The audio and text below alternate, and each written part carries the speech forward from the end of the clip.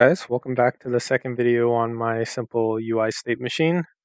Uh, in this video, I'm going to go over actually implementing the UI state that we created in the last video and go over creating a simple UI menu setup that will be using the states that we created. I'll start off by creating a new folder under our UI, actually make it under the scripts and this will be our test what is test states. How about that? That's good enough. These are going to be very general names. You'll be amazed. But I'm going to call it UI test state A. I'll create two more. And this will be UI test state B. And I'll finish up my really original names by calling it UI test state C. Ooh, fancy. Now I'll just open up all of these. And oops, uh, let me clear this out. There we go. Now we'll start with test state A. So let's start off. This is going to be a very simple one. I'm going to actually be doing all the implementing of all these states, and then we'll wire up everything in the UI later. First off, we'll inherit from our UI state that we created.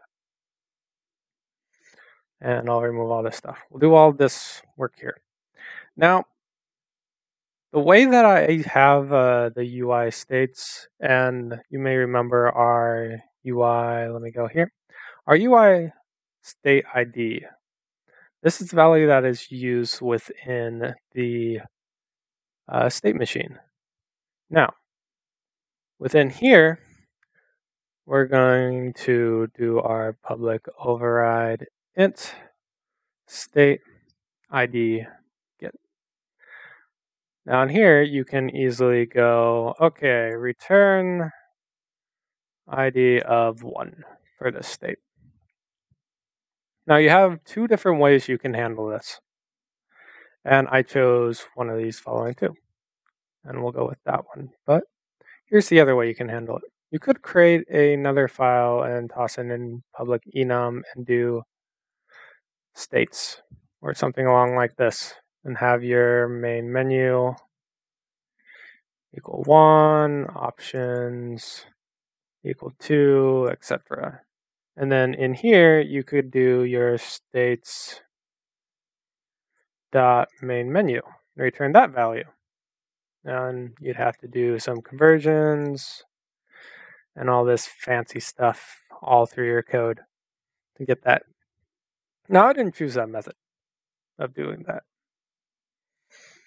And here differently, in this class, I chose to do a static public int and just call this ID.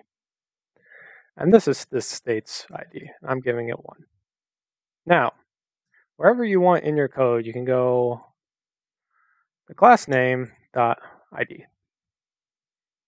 Da-da. You got the simple solution.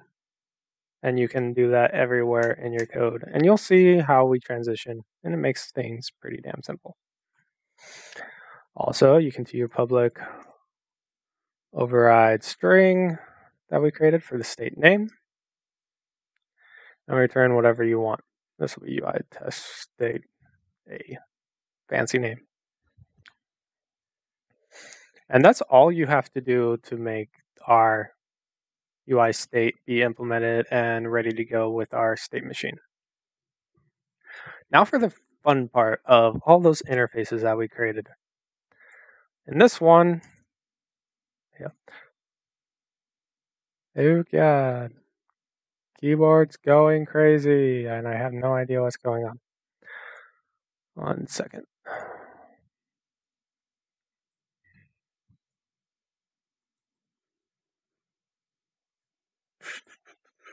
Technical difficulties? Oh god.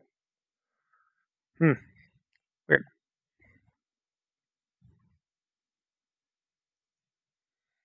Okay, anyway. I on state awake Oh god, this is going to be hilarious. On state enter.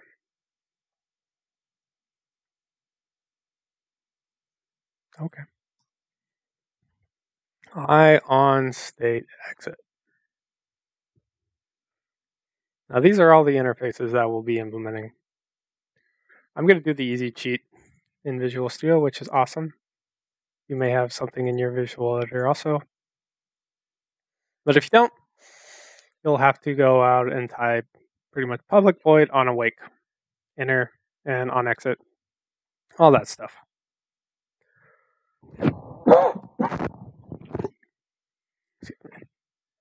Now this is going to be a very simple UI. All test state A UI is going to do is going to go transfer us to test state B. So in here, we're going to do a public button from the Unity UI, and I'll just call this button switch to state B. My spelling is atrocious, or my keyboard is going crazy. Also, for this button, we can resolve this and use the Unity UI namespace.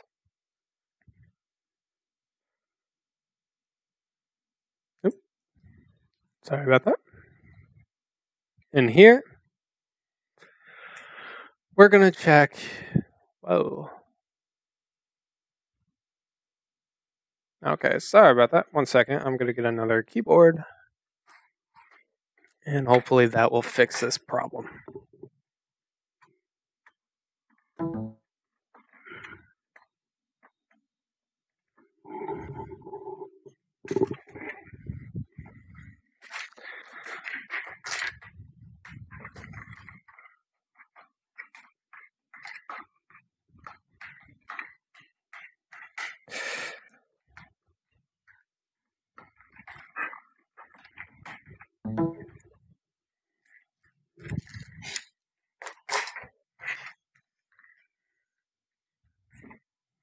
And let's see if this works.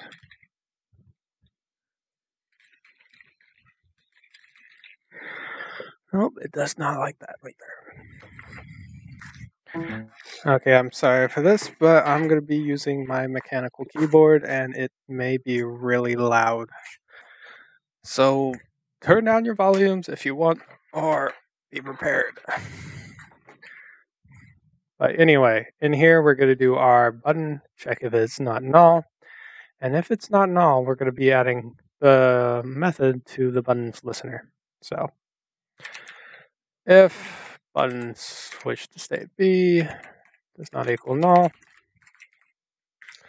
we'll do our button dot on click dot add listener and in here, we'll just create a method name called on and click switch to state B. I love my naming conventions this time around. It's okay.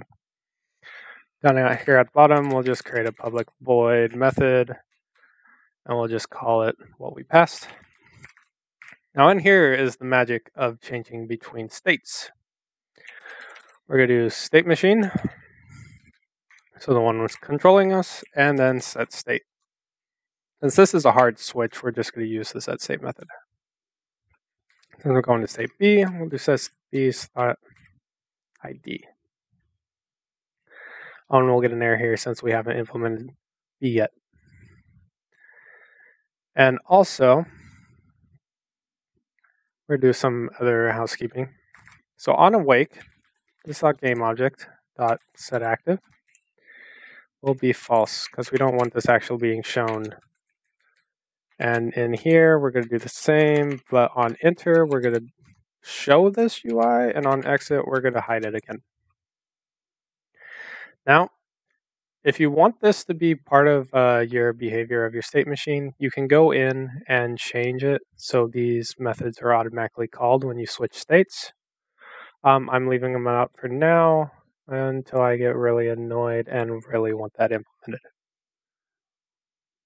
Now we'll jump over to B, state.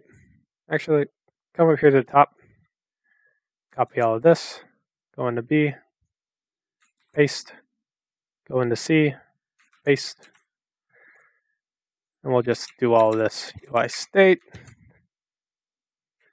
UI state.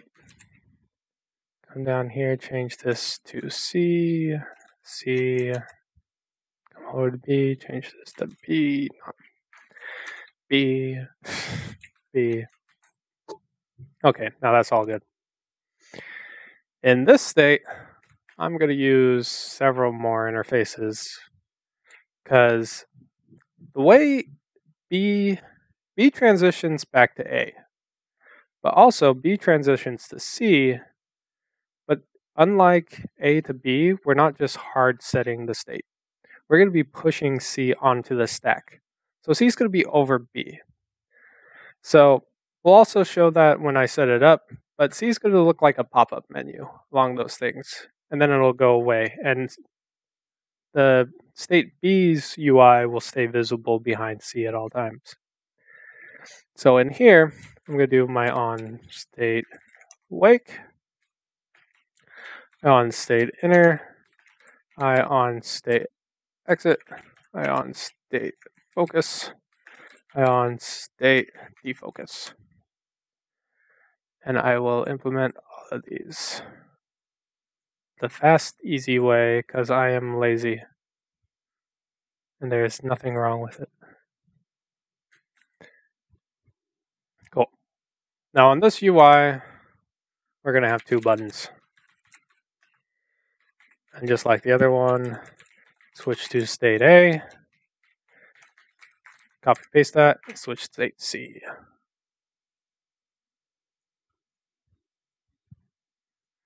Cool. Now in awake, you can jump out back to your state A and grab this null check and add listener setup and paste that twice into here and we'll rename this to button switch state A and the other one to button switch C. Cool. And these two methods that it's trying to add to, as listeners will add to the bottom. So public void switch A, public void on switch C.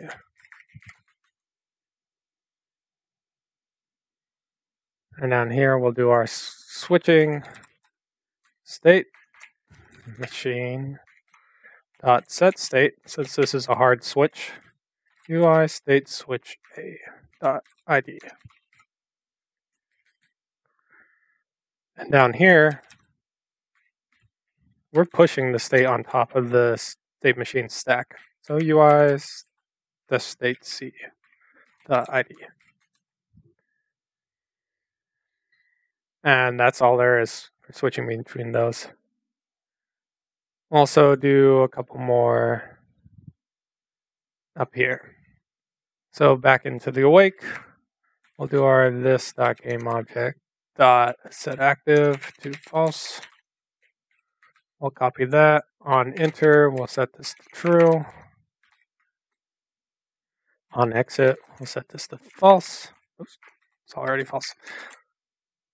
And down here on the on focus and defocus, we're actually going to be turning off the interactive. We're going to turn off the buttons if, then say that they're not interactive anymore. So I'm going to actually create another method down here just so we don't have, well, we're going to type more, but it'll make our lives a little bit easier. Call this toggle interactivity. Bool value. Here I'm just going to go button switch A dot interactable equals value. Button switch C dot interactable equals value. On focus, we'll call toggle interactivity and set this to true. Copy paste and on defocus and we'll say this is false. And that is everything for state B. State C is extremely simple as well. Though I can show you how to make this a little bit more complex and have a little bit of fun. But For now, we'll do the very simple. Get this running. I on state awake. I on state enter and I on state exit will be our interfaces for here. I know this is super exciting. And also we'll have a public button like all the other ones. Switch to state B. And be using this namespace. Also jumping back to our copy pasting. Actually this time I'm going to copy paste the game object set active too. A little bit less writing. Change this to B, B, and B. Some of the same old public void. That'll be the method used on the onClick event. Now on this onClick, we're going to do state machine dot pop state. That will remove this state from the stack. Also, you can call this and set when it's entering to set the game object activity to true. That's all we have to do to set up these three states to switch between each other. So we'll jump back into Unity and start setting up the UI. And clear these out. First up, I'm going to create a. Eh, let's just do a panel. So this canvas here, we'll do. I'm going to call this UI state machine. I'm going to delete this panel. I'm picky. And in here, we'll just add our UI state machine plus. I'm going to toss this in the prefabs. And now we'll create a empty object. And I'll add UI test state A.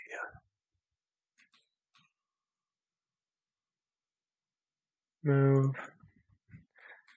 B. I'll remove this one as well and go C. I'll go through and rename each one of these.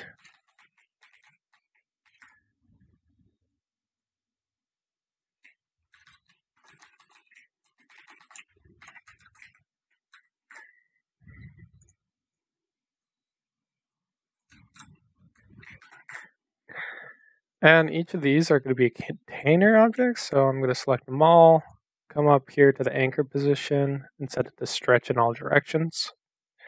And then I'm going to clear out the left, top, and right and bottom so it automatically fills its higher container. Because these are just going to be empty objects that'll hold all of your UI elements. I'm going to make a prefab of each one of these. Because the way this works is each one of these is individual, and you should be able to drag whichever ones you want onto the state machine, and it'll interact with whatever's on the state machine at the time. They don't have to worry about what other states are there or interact with them. So everything's confined to their own state. Now we'll just start with UI. First UI, create another panel. This will be the background Move the alpha, set this something dark, maybe bluish. Do my renaming. Background, uh, duplicate this, toss it into each one.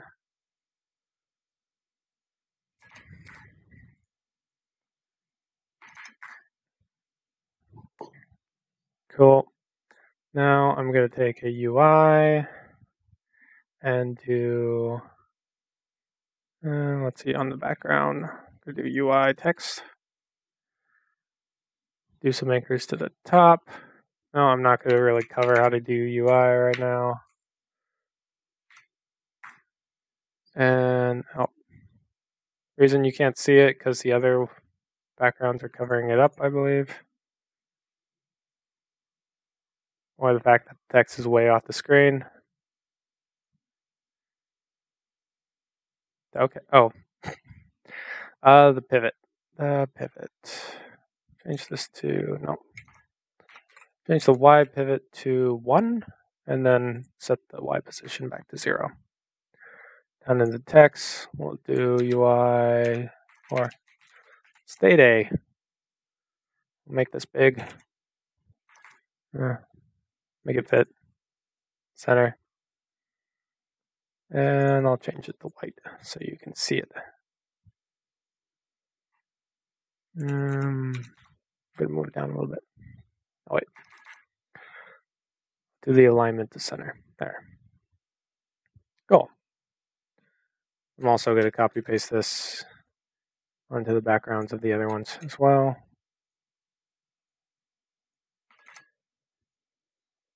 Since everything will have a name, this will make it easy. Cool. And now on this background as well, we're going to create some buttons finally. These don't really have to be anywhere. And I will name these button switch to state B.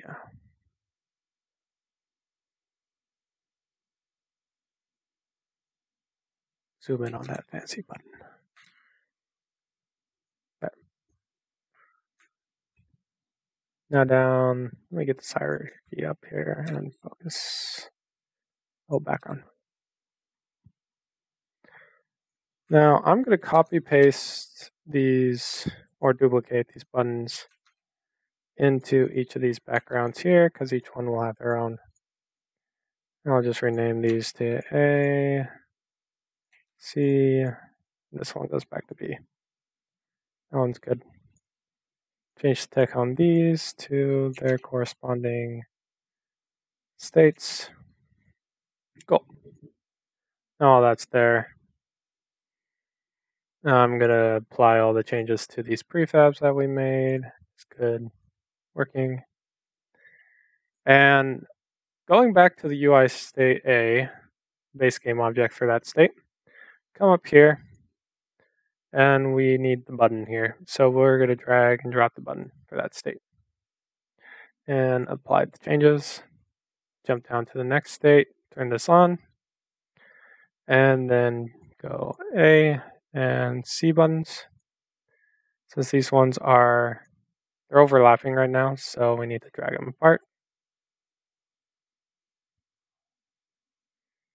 Then we'll open up state C as well and jump that in there. Apply changes, apply changes for this, apply changes there as well. And now you have this all wired up and everything should work the way. Also, another note, if this game object is not active, so this check mark up in the inspector is not there, it will not be added to the state machine and it won't actually, it'll be as if it wasn't actually existing here in the first place. So you need all of these enabled. And also, over here in the UI state machine, our initial state. I'm just going to drag and drop state A into that slot and apply. And now I will run this and we'll hopefully it'll work. We're in state C. Hmm. Weird. And that button brought us nowhere.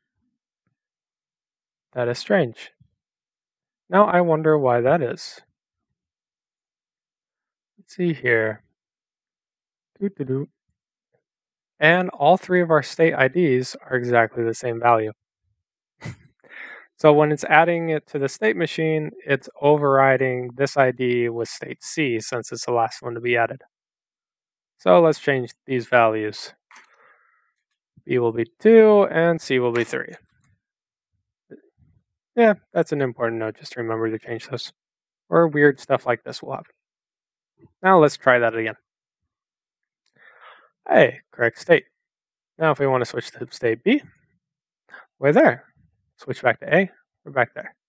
Say B. Now we want to go to C. We're there. And now if you notice down here in the hierarchy, when we're in B, Is the only one active. We go to C, C is active. Cool. Now you can't really see that here.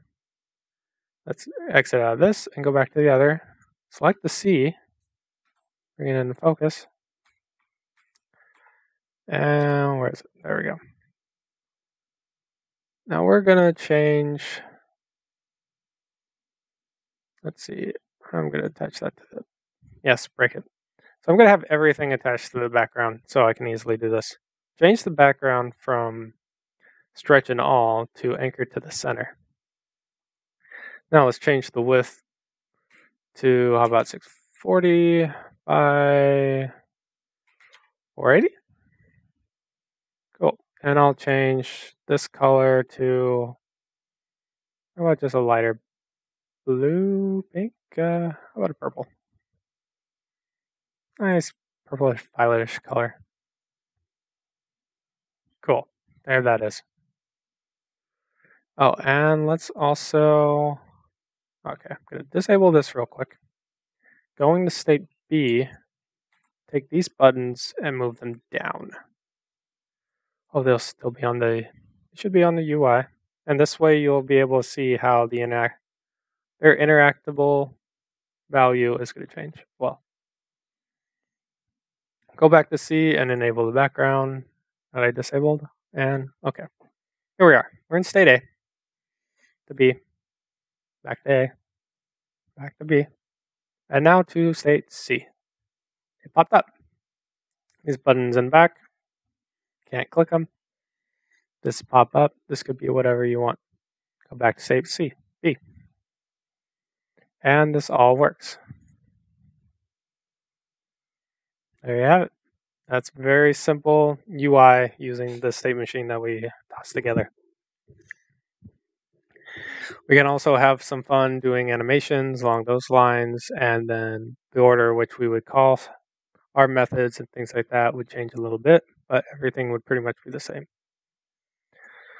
Um, if I have time, I'll toss another video together with um, doing a couple quick animations with the animator and making this little simple UI do a little couple of fun things, maybe.